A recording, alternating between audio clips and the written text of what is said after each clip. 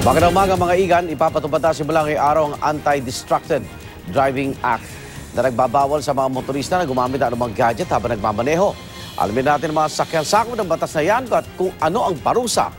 May unang balita kasama natin si Ivan Mayrina. Ivan,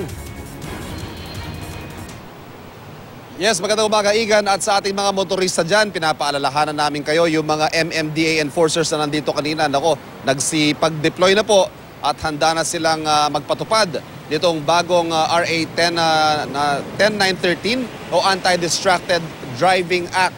Hawak ko po ngayon itong ah, frequently asked questions, ika nga, ano, itong 11 things you need to know tungkol dito sa bagong batas na ito.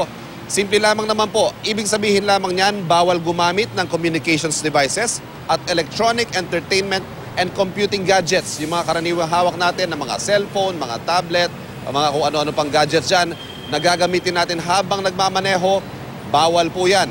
Ibig sabihin, pag nakita kayo ng enforcer, na hawak nyo ang ah, manibela at hawak nyo rin ang cellphone ninyo, nakatingin kayo sa cellphone, huhulihin kayo. Ano naman ang multa? Sa first offense, 5,000 pesos. Second offense, 10,000 pesos. Third offense, 15,000 pesos at 3 months suspension ng inyong lisensya.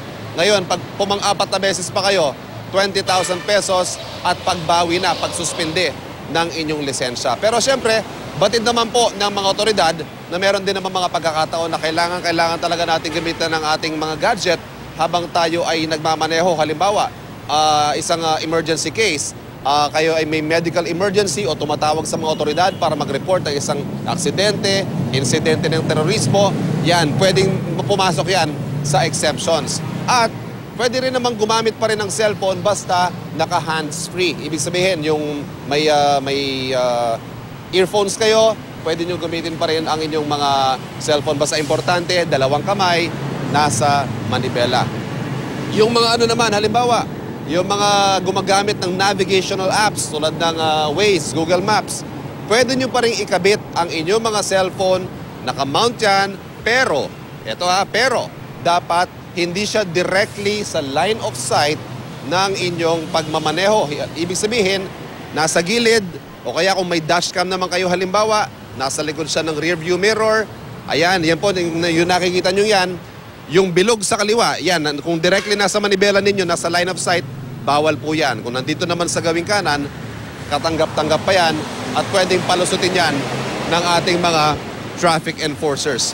Baka puso, nung, ah, nung ito po ay unang i-propose, ay may nakausap tayong engineer mula sa National Center for Transportation Studies sa UP. Kung halimbawa tayo tumatakbo ng 60 kilometers per hour, which is the usual speed limit, halimbawa sa Commonwealth, ano? That's 1 kilometer per minute. Ibig sabihin yan, that's 100 meters per 6 seconds. Ihatiin pa natin, 50 meters per 3 seconds. Ang ibig sabihin po niyan, madistract ka ng 3 seconds. Halimbawa, nagmamaneho ka, nawala yung attention mo 3 seconds. Uusad ka ng 50 meters. It's more or less the distance mula dito sa kinatatayuan ko hanggang dun sa poste pagtawid ng EDSA.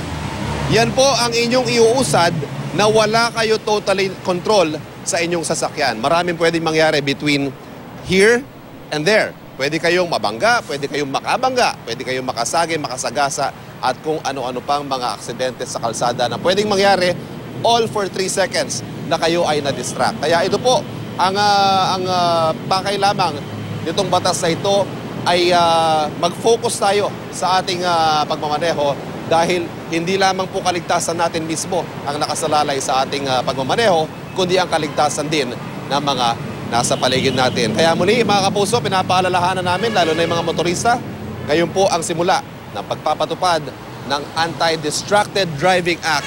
Good morning, ate. Dinaanan ako ni ate. Balik sa iyo, Igan. Okay maraming salamat, Ivan Mayrina.